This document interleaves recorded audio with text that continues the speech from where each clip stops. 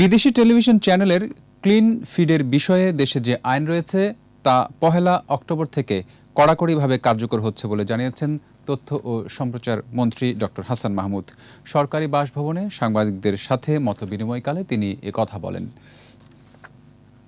ভারতের তথ্য সম্প্রচার মন্ত্রীকে আমি অবহিত করেছি যে পয়লা অক্টোবর থেকে আমরা দেশে ক্লিন ফিডের ব্যাপারে আইন আছে, সে আইন কড়াকড়িভাবে কার্যকর করতে যাচ্ছি।